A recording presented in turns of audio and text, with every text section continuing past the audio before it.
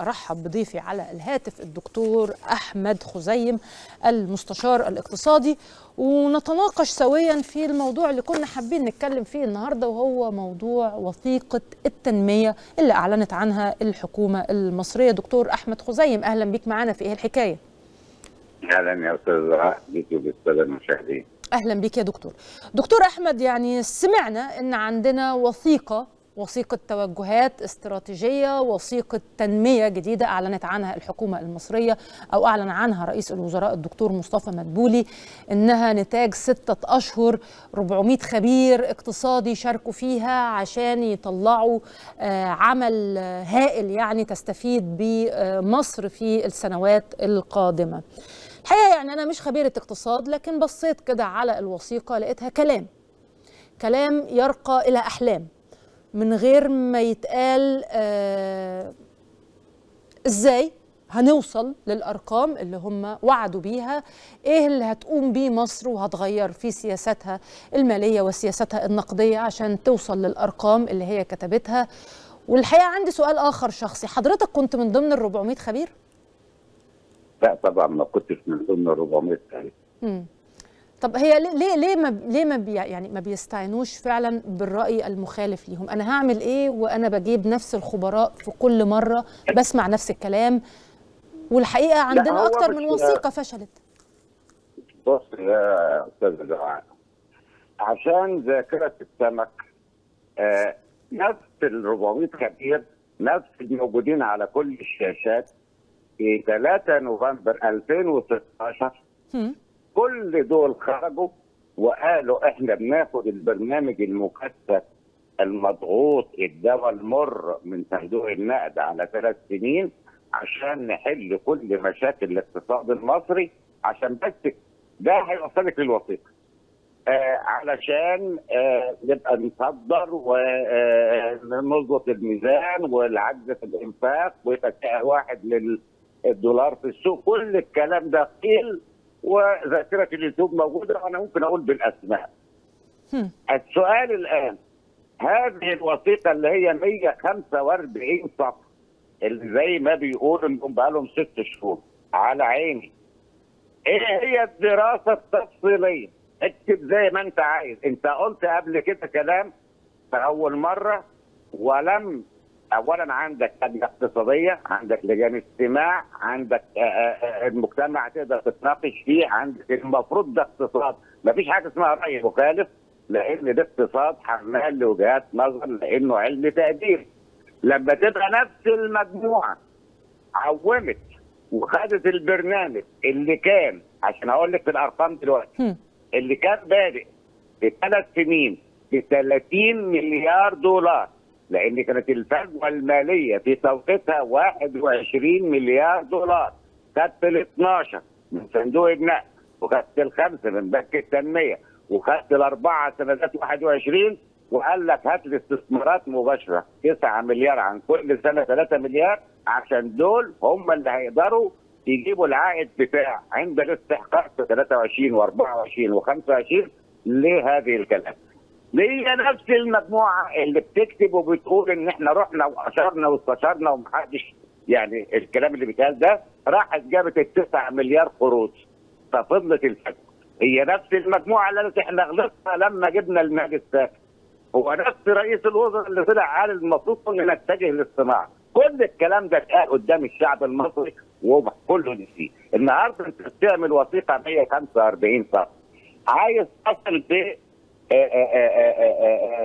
الصادرات بتاعتك وعايز تصل بالصناعة بتاعتك تمام من 39 ل 145 إزاي يا معالي رئيس الوزراء يا معالي وزير المالية ونحن نمر بأزمة عدم ثبات في سعر الصرف ولسه بنفكر لما نفك الأزمة ندخل محطة ال 40 ولا ال 45 ولا ال 35 وأنا بقالي تسع شهور مثبت رقم في البنك المركزي لا عليه لا عرض ولا طلب يعني زي قلته عشان أصل لمرحلة التوازن ربنا ييسر مع توفر مجموعة من كمية من الدولارات اللي أنت عملت عليها الصندوق وعملت الاطروحات ونزلت 32 شركة وبعدين 45 شركة وبعدين وصلت ل 73 شركة. عشان تصل لرقم ال 10 مليار اللي نقدر نعوم بيه محطة من 30 95 ل 35 عشان ما يحصلش الدائرة الجهنمية. تمام اللي إحنا بنتكلم فيها. فأصبحت في خلال الفترة دي جوه السوق المصري خمس أسعار للدولار. في العربيات سعر وفي الذهب سعر وفي السلع سعر. أدي ناحية. اثنين النهارده بتنزل لي وثيقة داخلها ما هو من تصوره كبالونه اختبار اللي هي. التوريق. والتوريق هي أداة مالية. أداة مالية النهارده أنت إذا كنت تملك إنك أنت عندك الأداة المالية بتاعت التوريق اللي هي بتلزمك إن يكون الأصل ملك للحكومة. طيب مم. أنا رايح أجيب دولارات. أنا عندي مصادر من الدولارات السياحه السياحة بصرف النظر عن مشاكل السياحة لأن أنا آخر سنة عندي 435 ألف سائح كانوا محملين على إسرائيل أنا بخ... يعني مصر محملة كجزء من الجروب السياحي فإدارة سياحيه للأسف فاشلة. تمام؟ أدي واحد. اثنين أنت إزاي بتتكلم على رفع الصادرات أو رفع الإنتاج السلعي؟ وأنت عندك مشاكل في المواني وعندك قافل الاعتمادات المستندية عقبال ما تستعيد عافيتك إزاي أنت في ست سنين هترفعها 100 مليار أو أو, أو أكثر. دولار تحويلات المصريين وهي اللي إحنا ماسكينها دلوقتي. قلنا السنة اللي فاتت مع حضرتك إنه فرق الأسعار ما بين البنك المركزي والسوق هياكل من رصيد تحويلات. كانت 32 بقت 22 يعني نازله مش طالعه فهو بيحطها 45 أو غيره. كلام يعني حتى علميا غلط. طيب نيجي للبند الثاني عندي تحويلات المصريين في الخارج براء السياحة براء بالنسبة للسلع دي حاجات بتاعت شركات. تمام؟ اذا مش باقي عندي غير دخل قناة السويس. عشان هو الأصل اللي تملكه الحكومة. إذا الهدف طيب إذا كان أنا النهارده بستخدم التوريق على اللي هو في الأساس عبارة عن أداة بتوفر لي مبلغ حاليا بضمان الإيرادات القادمة. جميل جدا. طب إذا كنت أنت واثق من الإيرادات القادمة تمام اللي عرضوها هتروح تعمل توريق بفايدة فوق ال 12 13% طيب كويس جدا. طب ما أنا النهارده نفس المنطق ده. ما أنا أروح بالدراسة دي لنادي باريس وبدل ما أنا أحمل مصر لأن لو التوريق عندي حصل فيه عشان هنرجع نقول أصل أوكرانيا طلعت أصل مش عارف ألمانيا ضربت أصل تايوان ضربت الصين أصل جه كورونا أصل جه مش عارف مين الشماعات دي كلها. فروح مضيع قناة السويس ب 20% لأن هنا الأصل هنا في التوريق لازم يكون في ملكيه طب إذا كنت أنت عندك ثقة في هذه الأرقام اللي أنت هتعمل عليها التوريق زي ما قال بعض الخبراء ومش وراهم. طب أنت النهارده عارف خطورة إنه لا قدر الله في منطقة مضطربة. النهارده بتتكلم على باب المنزل. لسه مش عارفين المسألة توصل لغاية فين. النهارده عندي مشاكل في المنطقة كلها. إحنا بنتكلم في مرحلة قد تتحول لإقليمية. فاضيع فيها مرفق مهم. كبالونه اختبار بتنزله. طيب ماشي. خد نفس الدراسة. المطمئن فيها أنت. ليه؟ مداخلك والكاش فلو بتاعك وروح اتفضل. ولا حل. ولا حل. أنا اللي بقول الكلام ده إلا إذا تم اعاده جدوله الديون مع نادي باريس. قولا واحدا. غير كده بندور في دايرة مفرغة. عملنا البرنامج ورجعنا بعد آآ آآ آآ ما قضينا إحنا بنتكلم دلوقتي ست سنين بنلف في عملية إهدار غير طبيعي لقيمة الجنيه المصري. أدي واحد. اثنين في بدائل هقول لك في الآخر في بدائل إيه؟ لكن بس خلينا عشان ابقى ماشي. إذا النهارده أنت عارف مداخلك من الدولار. لا لا لا لا السياحه تملكها ولا تحويلات المصريين تملكها لأن ده قطاع أصلا عائلي. ولا أو شركات. ما فيش عندك غير القناة وده شرط التوريق انه يبقى على أصل تملكه الحكومة. يبقى أنت مستهدف القناة. نمرة واحد نمرة اثنين المسألة بقى النهارده من 2016 إحنا النهارده 2024 هي نفس الإدارة الحكومية اللي قاعدة دي الاقتصادية. ما هي النجاحات اللي حققتها؟ تمام؟ عشان تيجي النهارده ترفع كل الأرقام دي كده مجنحة في الخيال ما يديني حالة من النجاحات أنت ما خلتش مكان لا الباندا ولا الساموري لا الديل الخارجي. وقفت عنده ولا الدين الداخلي. بالجنيه المصري وقفت عنده. أنا داخل موازنه 23 24 ب 824 مليار جنيه عجز لسه حضرتك قايلة على أذون الخزانة. اللي هي مدخرات المصريين. وال... والأزمة انك انت النهارده تتكلمي على سعر البنك المركزي في الاقراض 19% ولا 20% وبتنزل شهادة من 18 ل 25 ل 27 في كل ميعاد أجل السداد. طب الفرق ده بتجيبيه منين؟ إذا المسألة اللي إحنا بنقولها ولا زال لغاية النهارده 70% من إهدار قيمة الجنيه المصري نتيجة عن طباعة الجنيه المصري و30% أزمات خارجية. أدي نمرة اثنين. نمرة ثلاثة لا أنت قادر النهارده داخل على 42 مليار جنيه في هذه السنة. وعندك مشكلة. طب أنا النهارده هبيع ببيع شركات وهقترض بتوريث عشان أعمل إيه؟ عشان أسدد دين طب الكلام ده عشان ما نبقاش بنقول كلام ومجرد ما بنقول كلام. السيد وزير المالية قال لك إحنا سددنا في آخر عامين ماليين 52 مليار دولار من الديون. جميل. الرقم بتاع الديون اللي هو 100 حاجة و60 نزل بال 52 ولا زي ما هو؟ أنت بتاخد قرض تسدد بيه قرض. مع الوضع في اعتبار عشان الساده المشاهدين انك أنت النهارده تصنيفك بيقل فلو كنت بتاخد بفايدة 2% فكل ما تصنيفك هيبقى 3% في 4% فأنت بتزق لقدام للاجيال القادمة.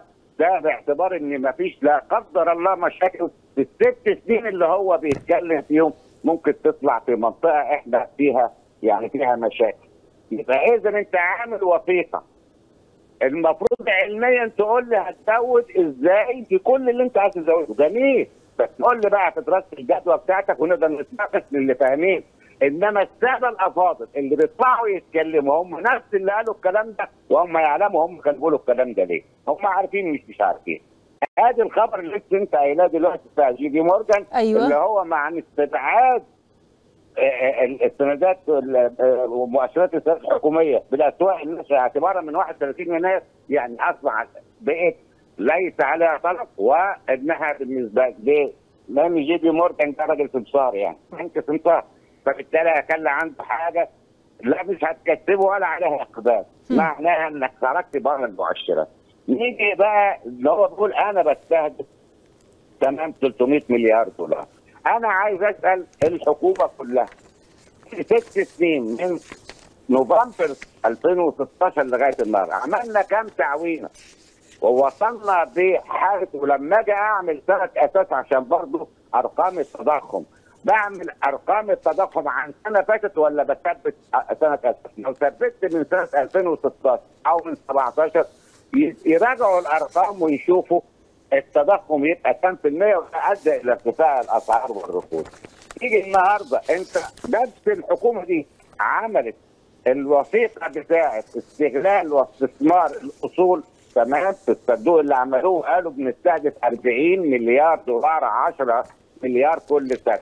وأول طرح لم يتجاوز ال 2 مليار، مليار 650 والباقي مصر.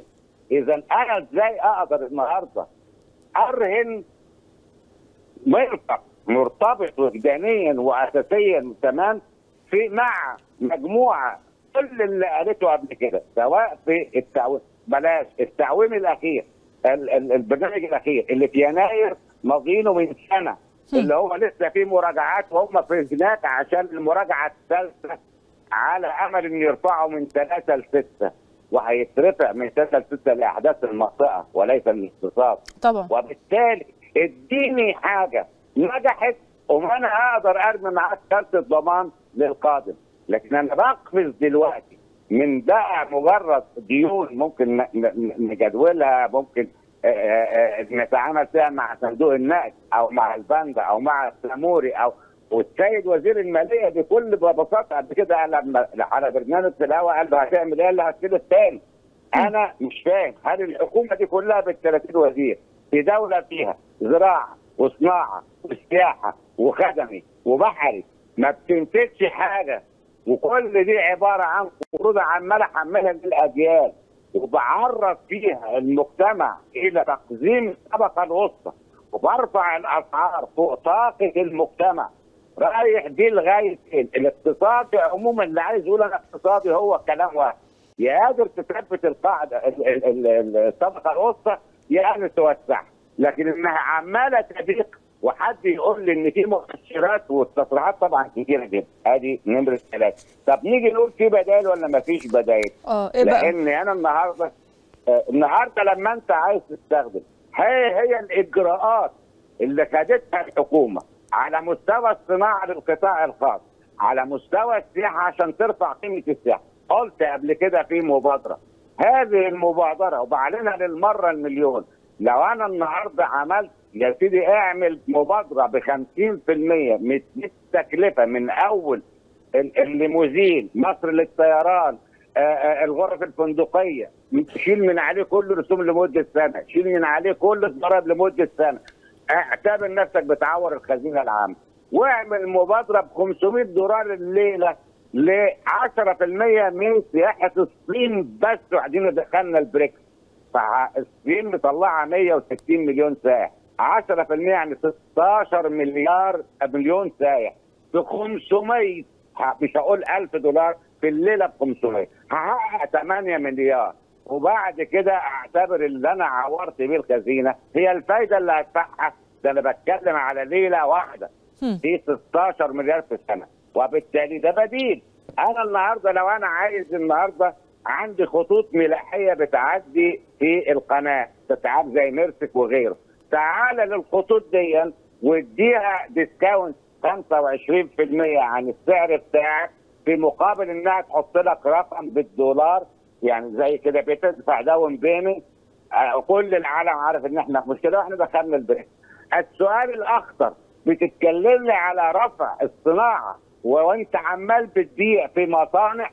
بتكلمني على رفع الإنتاج وأنا مستلزمات الإنتاج عندي مش عارف أطلعها من الجمارك؟ ما هو لازم نتكلم بقى كلام دي بلد دي مصر ولازم نبقى خايفين على مصر.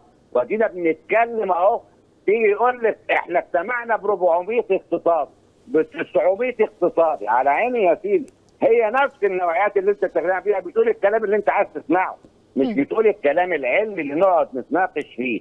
فأنا النهارده بقول دون الذهاب ما إحنا مش يعني مع جنبي عملت كده إلى نادي باريس قعدت الجدول اعمل دراسة.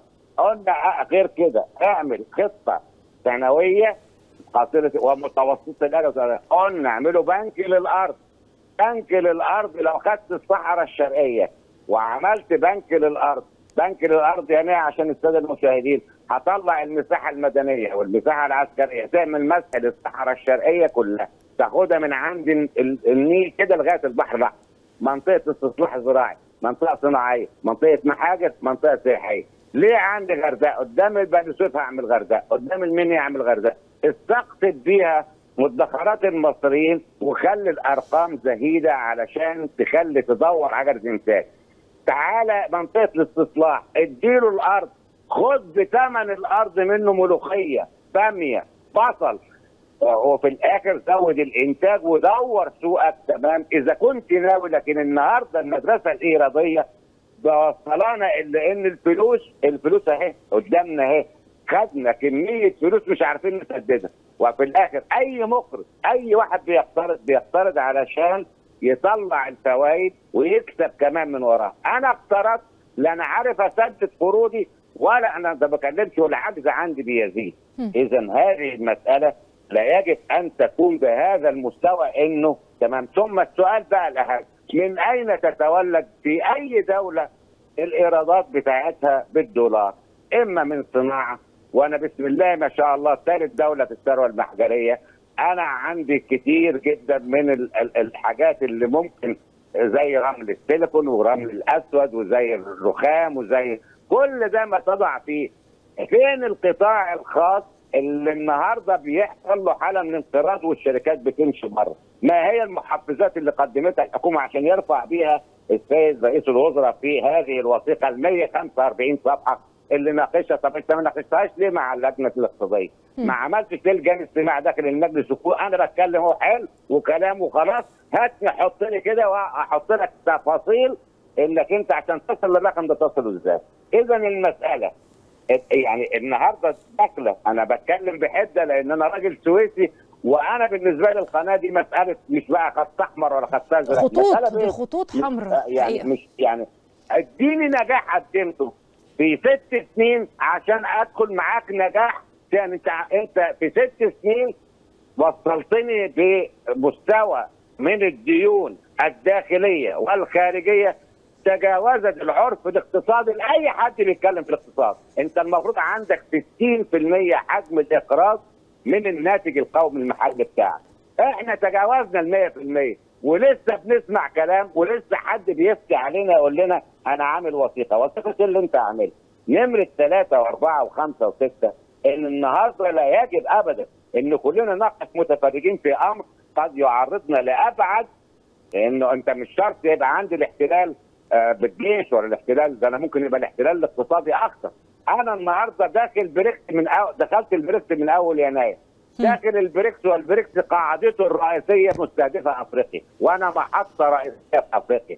كل هذه المصانع اللي مستهدفة من بعض الدول الخليجية في بعض القطاعات زي الأسمدة وزي الأدوية لأن دي الركيزة الرئيسية اللي تستطيع إنها تنقذ مصر مع البريكس إنها تدخل أفريقيا في شراكات مع الصين ومع الهند ومع روسيا ومع البرازيل.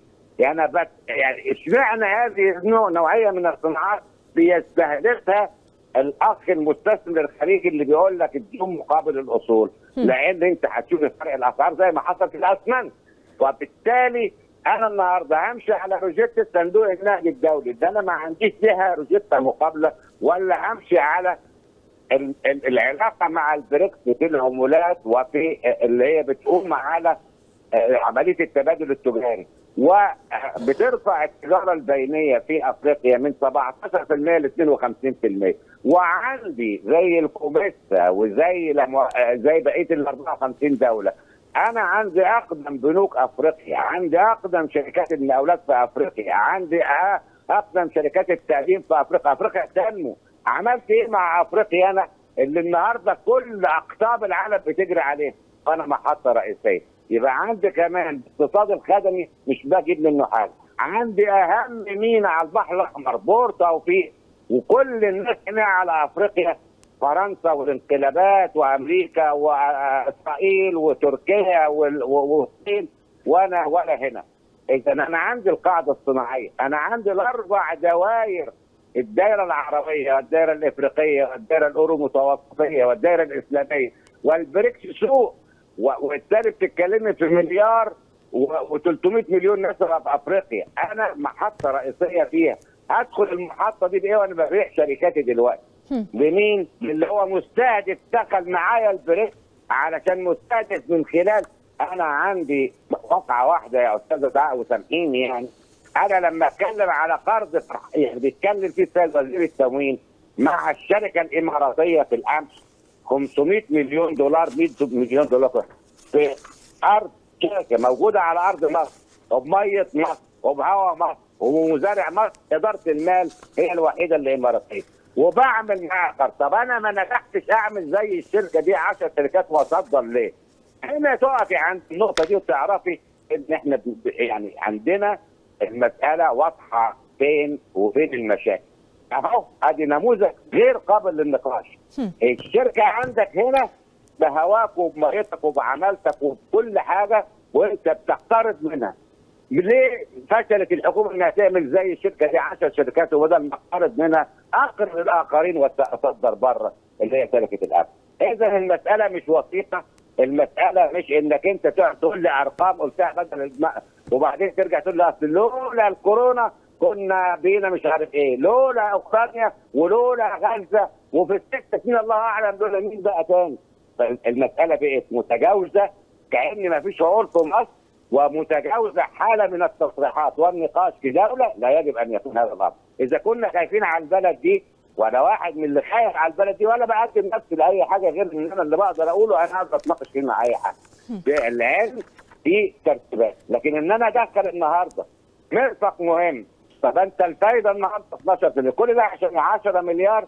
طب أنت عشان ال 10 مليار أنا بقول لحضرتك لو عندك ناس بتتحاسب داخل السياحة تستطيع إنك تجيب الرقم ده من السياحة على حالها حاليا. وبالتالي يا أستاذة دعاء الأمر جد خطير. ولا يجب إن كل واحد يطلع بي بيتكلم على يعني يعني يعني هقول إيه يعني أنا مش عايز أجيب أسماء لأن في الآخر هم اللي قالوا نفس الكلام ده وبعد الثلاث سنين هننتقل. بعد الثلاث سنين دخلنا على خمس تعويمات ولن يكون التعويم الفرق الفترة دي خلت ال 30 65 اللي بقى لها تسع شهور في البنك. لأن أنا قلت دي هندسة مالية من بدري. أنت النهارده عشان تنقل انت النهارده السوق بره تبعك في حاجة و50 فكنا نقول محطة ال 35 عايزة 6 7 8 مليار ونقدر نتحرك النهارده بيت انت عايزه فوق ال 12 مليار عشان تنتقل من ال 30 95 قرش لغاية ال 40 جنيه. وبالتالي النهارده الطبقة الوسطى بيحصل لها حالة. كل بقى المشاكل اللي هتخرج من إدمان ومن عنوسة ومن سرقات ومن أمراض ومن غيره أنا ما عنديش النهارده بقول الموازنة الداخلية بتاعت الدولة بإقراض أسبوعي وأنا نفسي أسأل الحكومة بتعمل إيه؟ صناعة وزراعة وسياحة بيعملوا إيه؟ وبالتالي هذا الأمر يعني للأسف الشديد مجلس النواب عندي مجلس الشورى عندي يتفضل يعمل لجان استماع يسمع لكن هو العلاقات العامة في الوزارات عارفة سين وصاد وعين ونون وكل واحد من دول ليه حسابات فبيقول اللي عايزين يسمعوه إلا ما رحم رب. ومعظمهم كانوا معه في الاتجاه وقلنا الكلام ده واليوتيوب شاهد من 11 سنة وإحنا بنقول يا جماعة دار الغنمات يا جماعة التعويم ما ينفعش معانا. يا جماعة الصناعة يا جماعة ادوا محفزات يا جماعة الصناعات الصغيرة والمتوسطة ومتناهية الصغر يا جماعة الأراضي مش للتجارة الأراضي يا إما للزراعة يا إما للتصنيع. كل ده قلناه. طب هنقول إيه تاني؟ طب يعني معلش يا دكتور يعني حضرتك قلت جملة دلوقتي أنا عايزة أقف عندها وهي إن إحنا قلنا إن التعويم ما ينفعش معانا. طب هل الكلام اللي حضرتك قلته من 10 سنين إن التعويم لا يصلح مع مصر أو تحديدا في 2016 لما حصل التعويم لسه حضرتك شايف إنه هو المفروض ما يتمش دلوقتي في وقت أصبح لدينا أكثر من سعر للدولار والسلع والخدمات كلها أسعارها بقت متفاوتة جدا وفوق قدرة المواطن؟ اقتصاد ما عمره ما يتم مناقشته بهذه الطريقة لأنه أنت في الآخر لما تيجي تعملي مجموعة من الأخطاء النهارده طبعا لازم يتم تحريك السعر لكن عشان يتم تحريك السعر السؤال أنا النهارده وأنا الأرقام اللي أنا عايزها النهارده من القروض من الرهن من من التوريق ليه؟ عشان أنمي بيها ولا علشان أسدد بيها دين قديم؟ عشان أسدد بيها قديم، يعني أنا بعدم أي اصل النهارده، تركني بقى ده على جنب. أما أجي أقول النهارده أنا رايح أعمل تحريك للاسعار لازم على التوازي يبقى عندي خطة موجودة إن أنا أبدأ النهارده أشغل الملكات اللي عندي. لما بقول لحضرتك اعملي بنك للأرض عشان لا أروح لمحافظه ولا أروح لزراعه ولا أروح للسياحه 60 جهة بتملك الأرض أنا هاخد من بني سويف خريطة كده لغاية البحر الأحمر. هيقابلني في السكة. استصلاح أراضي هعمل بنك اسمه بنك الأرض تبع لوزاره المالية. أنا عايز اثنين فدان في منطقة الاستصلاح الزراعي هروح اعلم على مع البنك واقسط اقسط مع بنك الدولة تمام؟ 3% من مساحة مصر الفاضيه تسدد الدين الداخلي، يا جماعة الدين الداخلي خطورته لا تقل عن الدين الخارجي، الدين الداخلي ده بيخلي النهارده كل الرسوم بترتفع على الناس صحة وتعليم وغيره. في ظل مداخيل الناس ضيقة، يعني الدين الداخلي دي مدخرات المصريين، إذا فشل إنه يعني قولوا لي إيه النشاط اللي في مصر؟ بيحقق 27% عشان البنك يدي، يعني هو بيقول للناس بيعوا اقفلوا وتعالوا حطوا فلوس. فنيجي حطيناها 18 جه ميعادها خليناها 25 عشان ما تخرجش طب المرة دي ال 27 هيخرجوا. على الأقل ربعهم هيروح على الدهب هيولع الدهب وبالتالي في خطة لازم تتحط يا أستاذة دعاء إن الحكومة بتعمل إيه؟ تعالى النهارده لو أنت عملت اللي أنا بقول عليه دون تمام؟ بالتقسيط. ده أنا بقول لك خليه خليه يشتغل زي الكوبوزات في إسرائيل. الكيبوتز بييجوا ويشتغلوا فيه جمعيات إنتاجية. إنما النهارده لا مش هعمل. لا هعمل طبعا تحريك أسعار. بس أعمل تحريك أسعار وأنا عندي خطة قصيرة سنوية تقدر تنشط لي الصناعات على الأقل أقل مستوى الأسعار في الغ... في ال... لو وصلش البصل ل 30 ولو قدرت أصدر منه أصدر من زيادة الإنتاج. ليه عندي الأرض أنا. هيقول لي أجيب مية منين بالتنقيط. هقول هيقول لي النهارده هعمل البنية الأساسية فين. هقول له يوم ما هتعمل المجتمعات دي المصري بيحب الأرض. الفلوس اللي أنت بتجري وراها من المصريين في الخارج هيجي يعملوها زي ما عملوا الغردقة. هيبقى عندك 10 غردقة قدام بني سويف غردقة قدام ما كل دي موارد جاية. وبعدين هيبقى في مجتمعات بقى فيها بقى الكافيه والحلاق والقهوة والبقال وسعر الأرض يقل وهكذا. التنمية كده. التنمية فكر القيمة المضافة إنك بتضيف. لو كنا اهتمينا بالمنطقة اللوجستية بتاعت مدخل القناة 46000 فدان اللي هي المحاور تمام. كان النهارده لو إحنا حطينا الارقام دي في المنطقة اللوجستيه في مدخل القناة وفي وادي التكنولوجيا ده إحنا عندنا رمل سيليكون في أبو زنيمة أفضل من اللي في, في, في أمريكا. وبالتالي إحنا بنبيعه ب 50 دولار الطن وهو محتاج مجموعة يعمل شراكة.